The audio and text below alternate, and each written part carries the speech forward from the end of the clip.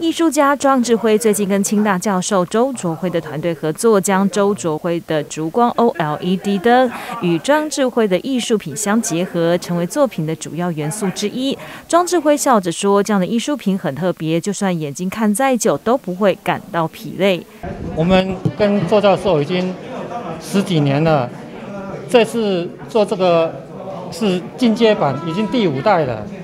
哦，它算是我们开。开始做的时候是，呃，OLED 灯，现在是烛光烛光灯，所以说透过烛光的颜色有没有，把图再点缀，更接近人的视觉上面的效果，所以说它对我们的眼睛是绝对的好，哦，但是我觉得说人还是要早一点睡觉哦，才没有过多的伤害，因为科技带来进步哈，也带来一种伤害嘛，对不对？所以说。啊，烛光它本身哦的科技是弥补我们的伤害，让我们更健康。这样，周卓辉常年研究烛光 OLED，将的照明光线中不含蓝光，对眼睛相对友善。透过光线的照明，也可以舒缓民众的情绪。对于这次与庄志辉的合作创造艺术品，周卓辉希望可以让更多人了解 OLED 烛光的重要性。希望哈，透过清华大学跟